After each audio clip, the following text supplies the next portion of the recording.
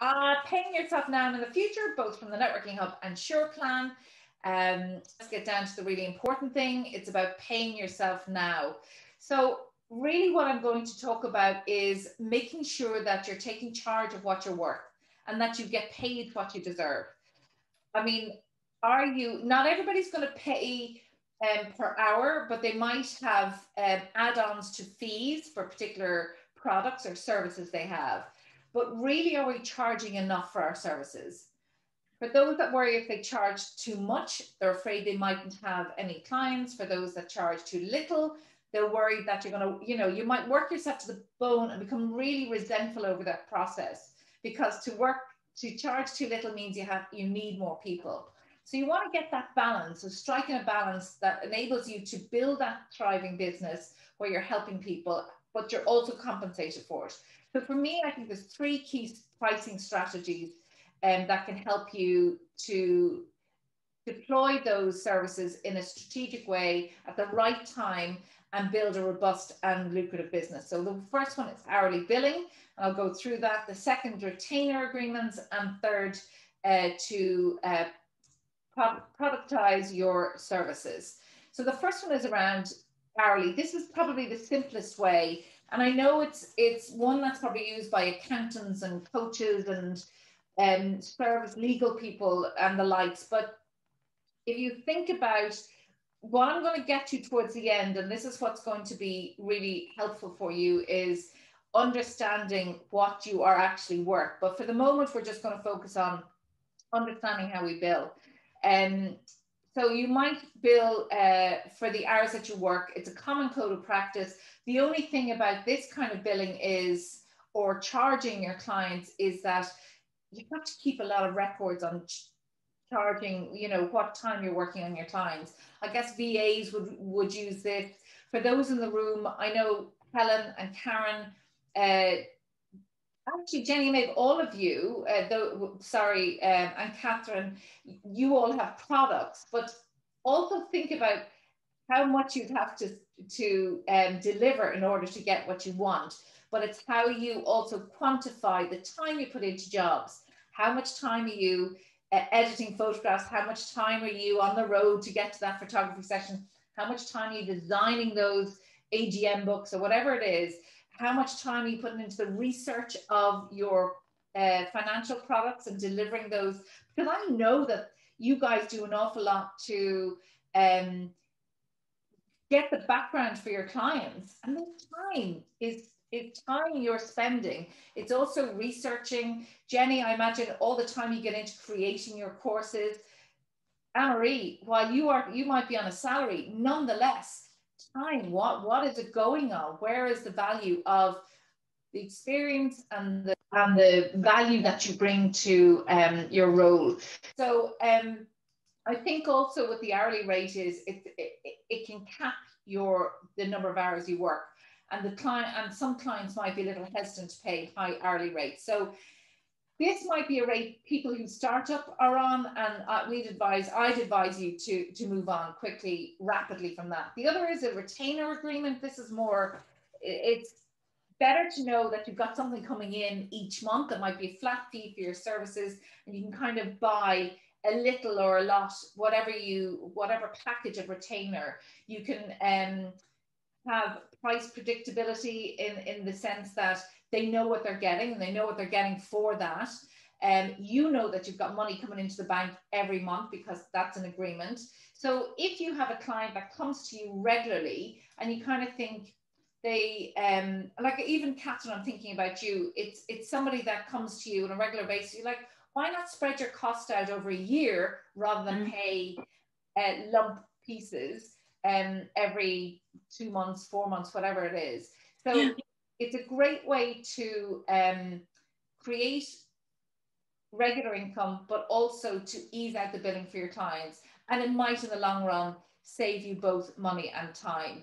Um, you want to get uh, quite specific, though, about what access they have to your advice, to your services, to your products, because if that's not specific, they might overtake what, what you're offering them. So you need to get clear on that. Um, so from that one, I'd move on then to uh, this is the product um, to productize your service. So this is a way of creating um, offerings. Uh, Maeve, I know you might do a photo shoot and they get three images or they get you have X amount of hours or X amount of photos for a particular product that you sell, something like that. Um, for the financial services, probably not so well. it is. There's products they buy, life insurance, pension, uh, income, all of that. So they are products. But it wouldn't be good to kind of be able to um, quantify what they're getting for those, um, and they can purchase what they want. So it's not a um, you can buy as little or as much as you want. And I think this is a really good one because it's very transparent. People know what they're getting. Um, and you don't have concern of the creeping into that time of adding more time. But it'd be good to get that clear because when you involve research, which is what Karen and Helen do, and um, I think that you've got to be mindful of how they use that and how much that can, can take away from you. Um, whatever about how you charge money or how you bill your clients, one of the things, this is where it's, this is the important bit really, I should have quickly gone through those other three. It's really important to know what you're bringing, uh, what you're charging for. So when we say we're charging for our work, what does that include? I mean, I've just noted down a few things here that I would be mindful of. Research is one of them. I brought that up with you all keeping up to date by staying above trend in your education in your in your own line of industry uh, networking you're networking to develop contacts and resources for clients for your building your business whether you're speaking or presenting at events whether you're retraining yourself your accounting costs your admin yada yada yada yada right? You can see this. That is work. That gets put into your billing.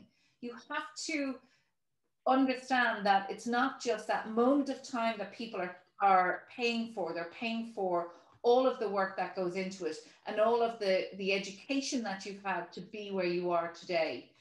And let's not forget about our expenses because all of those expenses that have, have been um, invested into our business, professional fees um, for our education, whether we're part of memberships or associations, legal costs, insurance costs, banking, accounting, rent, like it is endless. I mean, even just recently, uh, as this business went online, I was quite shocked at the amount I'm paying for um, platform and apps. So those subscriptions to uh, MailChimp, Hootsuite, uh, Eventbrite, um, Facebook adverts, all of those things get wrapped in. They have to be considered for your business. So it's really subscription fees. How many of us pay out on subscription fees? So all of that materials, they all have to be uh, considered. So you need to keep an eye on that. And let's not forget that we actually want to pay ourselves. We want to be paid. We want to have a good in income that allows us to pay for our bills, have some holidays and all, you know, just really have a life. This is my vision. This is where I see myself once the lockdown is over on a beach have to slim down a little bit to fit in, into that hat diameter now, but there's the image and the goal and the vision board. So this is where the fun begins. And I want you to grab a pen and paper because we want to do a sense check on whether we're charging enough for our time, experience, and qualifications. But also, it'll be interesting, Emery, even from an employee perspective, what the value that that is that you're getting. So um, I want you to think about on the left hand side of this screen is the list of um, considerations. So the possible working days, I've calculated this as 52 weeks, five days a week, average 260 days of the year is what we can work. Okay. Public holidays, I've based this on the Irish public holidays. So I think England has two less maybe, or one less. You get either eight or nine public holidays, like I said, uh, for uh, you, Jenny, that might be nine days. Personal holidays, maybe you want to take 20 days off, maybe you want to take 30 days off. I just put it here on the average. Sick days, again, this is average, three days people take, and particularly if you're working for yourself, it's less. Uh, they, they it tends to be less. So all of that calculates out at a working days of 232 a year. Do you want to work seven hours a day? Now, if you're working eight and you're working nine, put in eight or nine, whatever the figure is, because you've got to be realistic as to your value. So that will calculate then, I've estimated on seven at 160, uh, 1,624 hours per year, which is what you're going to work. How much do you want to earn a year? What's your end goal here um, in terms of take home revenue? Now this includes your expenses and you know, it'll cover all of those. It's not your salary, it's your take home. It's your revenue, I should say. Your sa- take home or your sales? It's your Sorry, sales. it's your it? revenue. It's your sales. Okay. It's your sales. Sorry, haven't I got myself No, no, confused. that's okay. So this will give you an estimate. If you break down the number of hours I've I've used here at 61, and I've used the sterling, it should be 61 euros um, or pounds, whichever you're using, uh, an hour. But double that because we're not productive 100% of the time. We're only productive 50% of the time. So in this example, I'm saying that your hourly rate is worth 122 euros per hour. So if you were to charge out by the hour, that's what you would be charging. Yeah. If you're not working like that, it's knowledge for you to know how much you need to be earning a day, a week, a month, and how does that show up through your products? How many products do you need to sell? How many services do you need to sell? How many courses do you need to sell in order to meet that? So I'm going to move on to this one. And this is what's stopping you bringing your value into its true, you know, the, the right charge for what you should be um, uh, putting out there. You know, those who undercharge also tend to work very long hours every day and don't stop. And the drive to keep working without st stopping often kind of stems from that lack of confidence that what you're delivering is not enough. It's not really good enough. You want to be giving the best, the best, best. And I've seen many, many times where people give more and more of their time for free that they don't charge for that time because they're like, well, it's after six or whatever it is, and I'm just I'm doing it anyway because I'm at the computer or whatever the, the excuse is. But deep down, why is that? Why are they doing that? Are they afraid that they're not good enough or powerful enough to help the client in the time allotted? Or they're not, you know, letting the client know it's going to take more time. Or perhaps it's a, you know, lack of understanding of what you're delivering. So again, sometimes this takes practice. The more you work, you realize I need to be charging more for that, or I need to um, be clear and transparent on what I'm delivering for the client so they're aware. Maybe it's vagueness of, of what we're, we're delivering. Maybe it's the business driver. We're not sure if actually this is what we should be doing. Whatever the reason, it's, it's important to find out what's stopping you charging your true value. What's holding you back? Now, perhaps we can come to this after the recording if you want to share and maybe put into discussions and in smaller rooms how we can help and support each other if we are in a position where we want to charge uh, charge more. Now, I will be thinking making a few changes to help you develop uh, the the rates you want and the the income and the revenue you you desire is to identify the process of how you work and what you're bringing to the table for your clients along with those outcomes you deliver for the client, like make that very clear. Do an exhaustive competitive analysis and figure out how you're different and better than the competition. And if you're not better than the competition, take some steps to power up your offerings and become stronger and more effective in what you do. This is going to sound weird. I'm going to say stop relying on word of mouth as the only way to generate business. It's the best way and it's the more um, it's the easier way in terms of selling because people buy people they like and trust and they'll trust the people that refer them. But you want to start the marketing and promotion of your business in a way that it'll grow exponentially outside the circle of influence. And um, so those of you who did the um, uh, strategic and tactical course it's about growing beyond that network that we have and really opening those up. Sorry i shouldn't be complaining about the sun but it really is in my eyes. And um, and you know develop deeper stronger boundaries say no to outlandish requests that you know that take your time and effort. Know what your time is worth and demand the respect for that. And if we can't respect ourselves our clients aren't going to respect it. Get some help to build and strengthen your business. Find ways where you can get help in areas that you might struggle with. Financial accounting marketing printing whatever it is va so that you can focus more on what you deliver as a business and uh, what you do fantastically well. I know that I'm not great with social media marketing. I outsource that because I'm not great at it. So I have to outsource it. And I'm going to say charge 20% more today. Just do it. Any new client you get, charge 20% more. And then with the clients you have, build it in maybe to January 2022. My rates will be going up or my you know, the, the cost will be going up on the, but you give them plenty of notice. So if you want work done, get it booked in now. If you want a photography session done, book it in now, but charge 20% more. And if you're not charging 20% more, I'm going to bring you back to that other slide and ask you why you're not charging more. What's stopping you getting those rates up? Okay, so the most important thing is to understand, like I said, what's holding you back because uh, and I know, Helen, you've done extensive work on this uh, with your coach.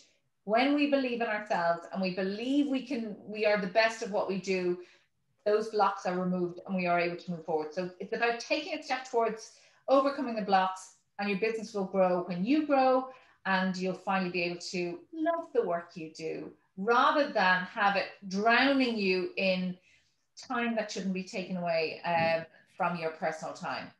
So that is me done in a whiz tour. And I'm going to stop mine. And I did mine first was going to help you to understand what you have to play with. So in doing that calculation and that chart helps you understand what you get to play with. So Karen, I'm going to pass it over to you and um, you're, you're going to love her work. It's brilliant hopefully anyway so um, so i'm just going to talk through steps that you can take now to secure your financial future. So where's my screen not moving? There we go. So i'm going to give a quick intro to myself and Shoreplan similar to what Siobhan did. Talk about the small steps. Talk about curveballs that you may get along the way and then we can have time for some questions afterwards, or you might discuss uh, some of what I've said maybe in, in, the next breakout session afterwards as well. So a really quick intro to me um, from the UK originally, as probably you guys have guessed, um, and, and some of you know me, most of you know me already anyway. I grew up in London, went to college in Manchester, long, long time ago now at this stage. And over 20 years, I worked for three different life companies in the UK and Ireland. Um, I moved to Cork in 2004, 17 years ago almost um, have fought hard not to take up the accent, as you probably told. Can tell I've still got my hybrid kind of English Irish accent. Um, and shortly after I moved to Cork, I studied uh, to become a qualified financial advisor here in Ireland.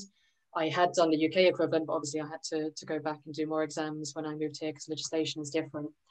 So roll on um, about 12 and a half years after working for New Ireland Insurance for 12 years, I decided that I wanted to be more at the forefront of the financial advice process um, my previous roles within the life companies had always been looking after a panel of advisors and helping them with technical knowledge and um, just basically trying to get them to do business with the companies I was working for at the time.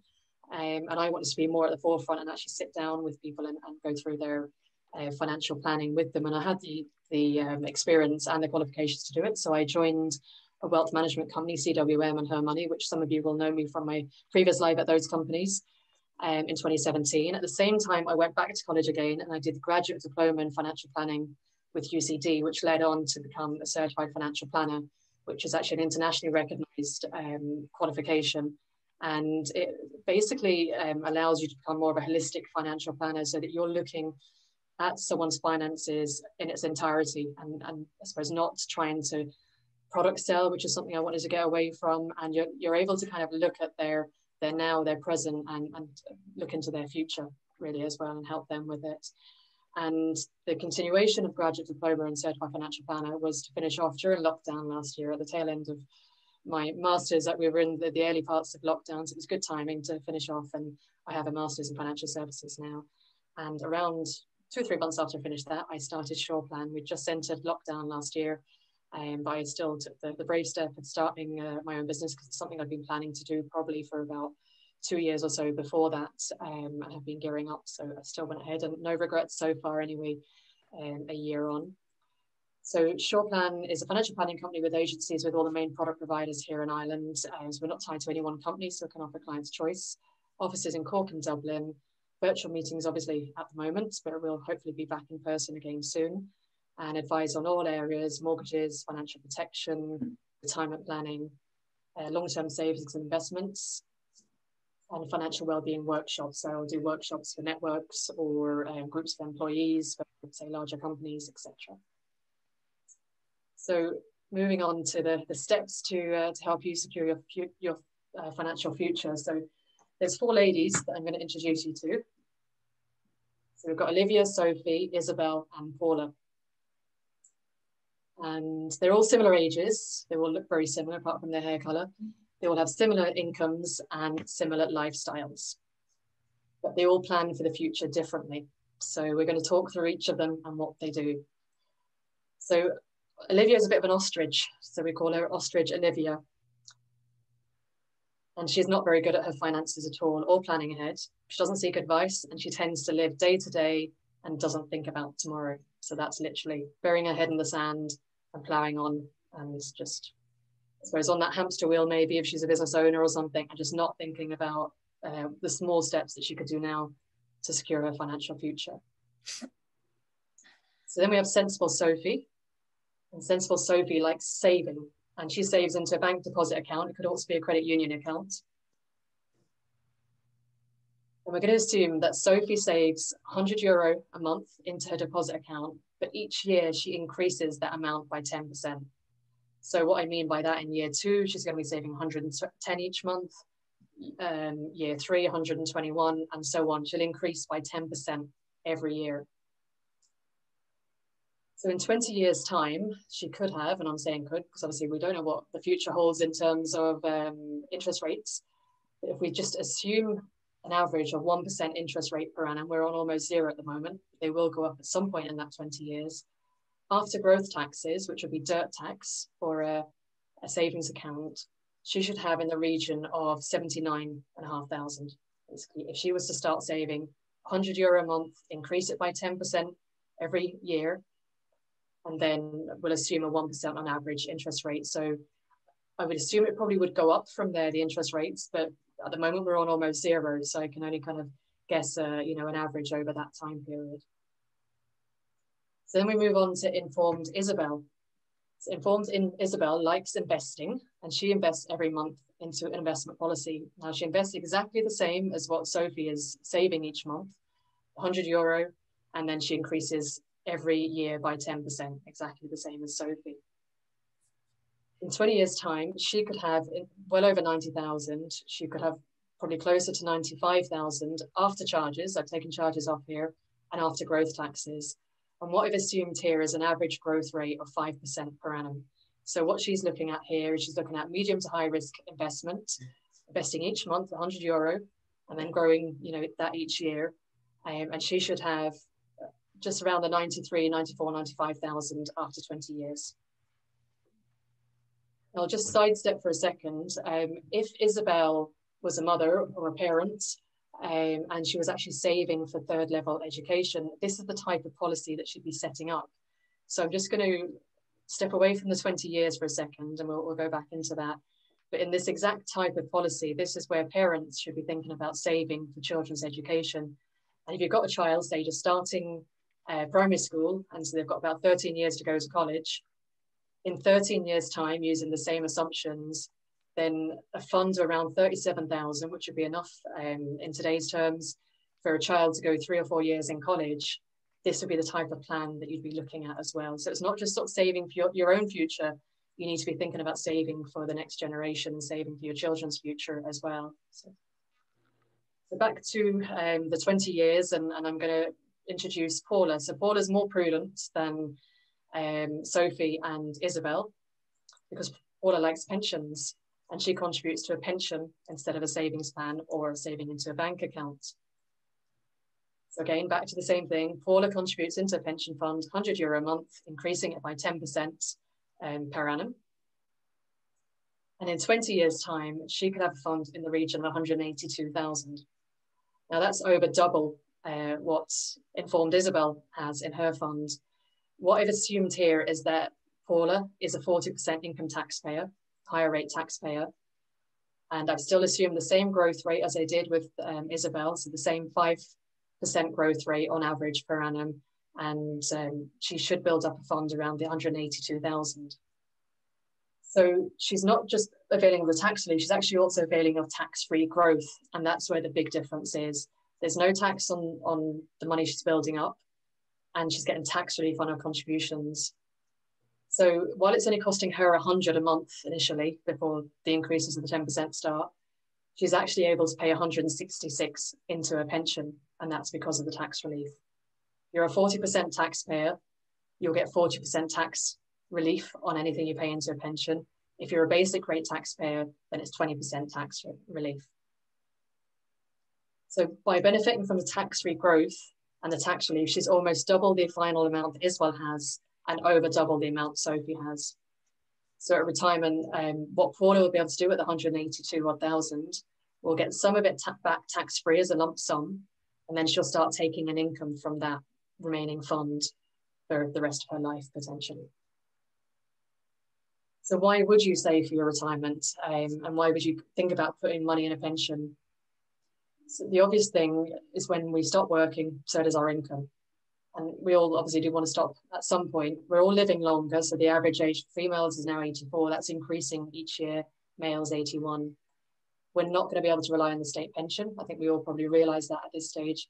The state pension age has been reduced um, back down to 66 I'll say temporarily. but That's only because of there was a bit of politics going on for Fianna Fáil to have a coalition there. So I think um, you know that was one of the agreements. It's going to be back up to 68 in the next couple of years, and it'll probably go up to 70 probably in, in some of our careers as well, if not uh, higher than that, because the government simply can't sustain the uh, pensions at today's rate as we have an old an aging population. And the big one, I've just explained it in, in those figures, like the doubling of, of the money from an investment account into a pension um, account would be your tax relief, tax-free growth, and getting some of it tax-free at the other end. So that small step of 100 euro a month to start with means you're going to get big rewards in your future. And I always say to people as well, I'm sure Helen will say this to people when she's reviewing um, people's uh, finances as well, so many people have previous careers, you know, they have previous um, employments, whether it's abroad, whether it's here in Ireland. Don't ever forget about your other pensions as well. You know, it's all well and good to start a pension and have one going now, but the likelihood is there's probably some in the past as well. So always make sure that you get your financial advisor to review those often as well and, and make sure they're performing the way they should be. They all, at the end of the day, towards, you know, count towards your retirement goal. So just to recap, just to put it there in the figures. So if you do nothing and you're like the ostrich Olivia, then that's probably where you're going to end up is, is with nothing. Sensible Sophie will be one step up to actually start putting that money in a bank account. Um, Informed Isabel is investing it, so taking on some investment risk, which I'll talk about in a second. And Paul is going a step further by utilizing the tax relief that we're all um, entitled to. Anyone that has an income, whether it's a salary, um, or whether they take income as a sole trader or a company director, you're entitled to income tax relief. If you pay income tax, you're entitled to the tax relief, and then your pension fund will grow tax free as well. Now, I don't want to put down bank accounts altogether because bank accounts are exactly where you should put some of your money. And I always make sure, and I'm sure Helen does exactly the same thing, that all clients need a rainy day fund and they need to have enough money in a short term savings account um, which is in a bank deposit or a credit union deposit as well. So short-term savings being anything you need in the next five years.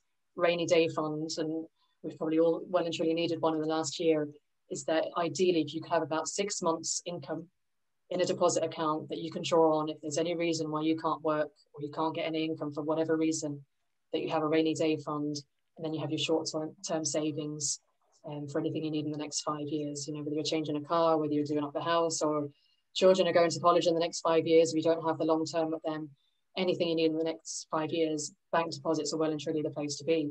But if you're looking longer term, like we just have been, and you're looking five to seven years plus, or 20 years, as in my example, then you do need to look at investing um, and potentially putting money in a pension as well. And the reason being, you probably all remember maybe about 10, 11 years ago, interest rates were a lot higher, but they've been coming down and down and down.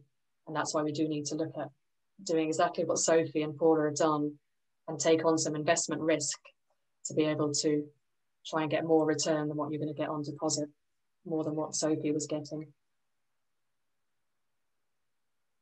So investment risk, though, is probably a bit scary to some people. Um, if you don't take on investment risk, your problem is inflation erosion. So your money is not going to keep up with inflation. Inflation. So obviously, as we get move on in time, um, it costs more to buy the same goods, you know, in 20 years' time versus now. And we fail to achieve our objectives, our retirement objectives, as an example. But then if you take on too much risk, which can I trust me, I can see that happening sometimes with clients, and you have to reel them back and say, no, you can't go into a, you know, a very high risk investment if they don't have the time frame to do it. You can lose capital, you can lose confidence. So that's where you need an advisor like myself or Helen to really sit down with and work out what is your risk tolerance, what's your time frame, and how much investment risk can you take on to be able to try and get that growth that both Sophie and Paula are getting, sorry, both Isabel and Paula are getting in their investments and their pensions. And the, the big question is where do you invest? Um, and what I always say, and Helen will always say to clients, is you diversify. And I'm not going to go into this today. It's probably a whole new presentation that I can go into another time on one to one with people. Um, and any financial advisor like myself or Helen would sit down and make sure that their clients' portfolios are well diversified, that you're in lots of different assets. Then I mentioned I was going to talk about curveballs. So the 20-year time frame that we were just looking at, that's great if you can put the 100 euro a month in every single month and increase it by the 10% as we were talking about. But we get curveballs, and then we just had kind of a big enough one in the last year and a half uh, with with some people's income where they haven't had any, or certainly haven't had what they were expecting with uh, the pandemic. But there are other um, things that can that can uh, come along the way that can stop our income um, for, for many different reasons. And we need to protect our largest asset.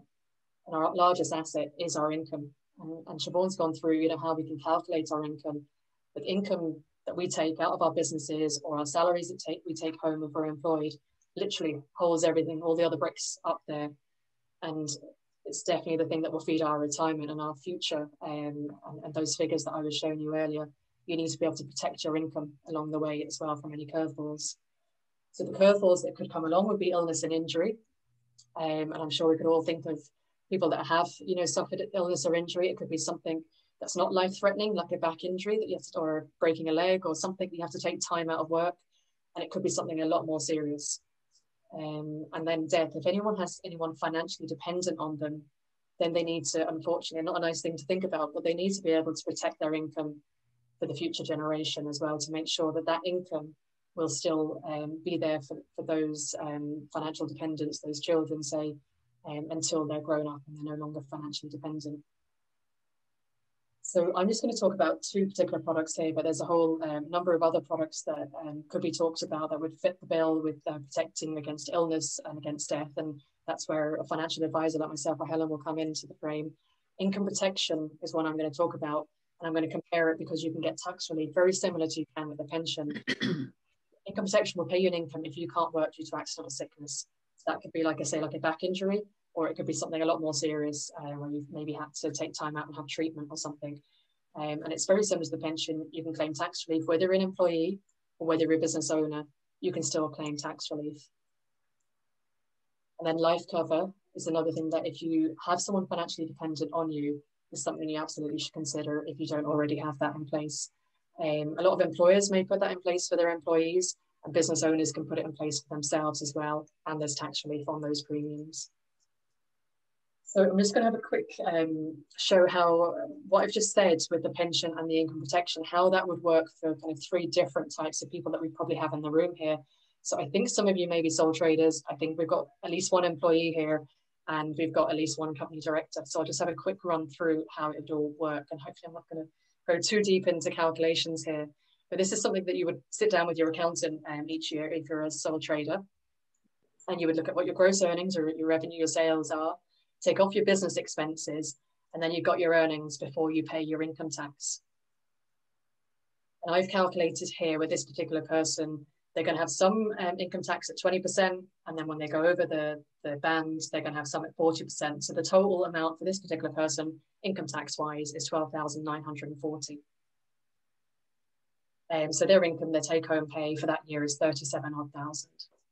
So we have example number two, exactly the same situation, but they pay a pension contribution when their tax return has been done, or maybe they've paid it monthly throughout the year, and say that they pay premiums for income protection and life cover. So I've just assumed a thousand there, and that would be roughly around 80 euro a month for income protection and life cover if they put them both in place. So their earnings before tax is reduced, which will mean obviously they pay less tax. So they're paying 2,400 less income tax. Now the income after tax is going to reduce by 3,600, but that's because 5,000 has been invested in their pension and they've had income protection to the value of a thousand um, over the course of the year. So whilst their income protection is three, sorry, whilst their income is 3,600 less, 5,000 has gone into the pension and they've been able to have any protection against those life um, curveballs that we get with the life cover and the income protection. So that's the way it would work for a, a sole trader. Um, I'll move on to company directors. So in this instance, uh, the company can pay the contributions, whether it's uh, pension contributions or premiums for life cover or income protection, directly from the company bank account, not a benefit in kind for the person that's benefiting from them.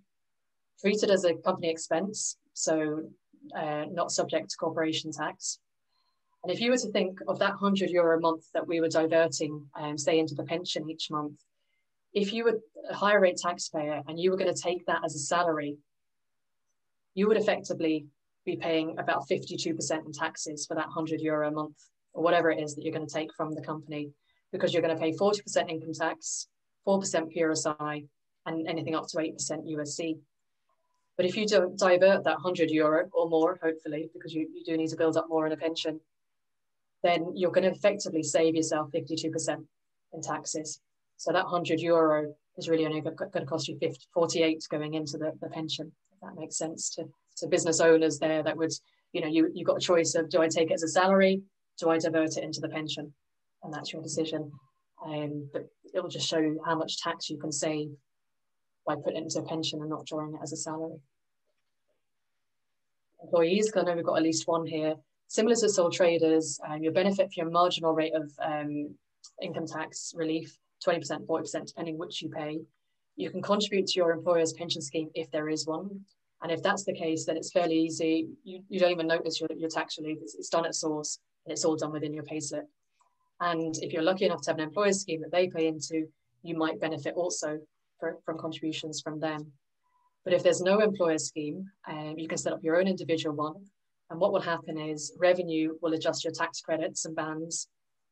So you pay less tax each month. Or if you do do a tax return, maybe you have an investment property, or for whatever reason you do a tax return, you can claim it all back at once. So you can either do it monthly and pay less tax each month if you're paying into a pension or income protection, or you can um, claim it back um, when you're doing your tax return for the previous year. So that was a, hopefully it didn't go too fast, but that was a whistle top tour of, of how you can um, do small steps now to protect your future and financially um, add towards your future and protect any curveballs.